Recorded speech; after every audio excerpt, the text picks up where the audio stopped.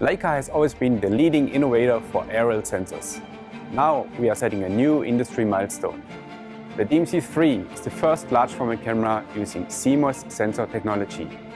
What does this mean for our customers? 50% flight cost reduction, more flying opportunities, higher image quality, and a full integrated workflow.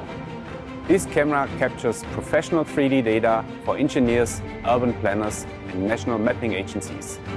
With the DMC3, we help our customers to capture aerial data faster, at less cost, and better than ever before.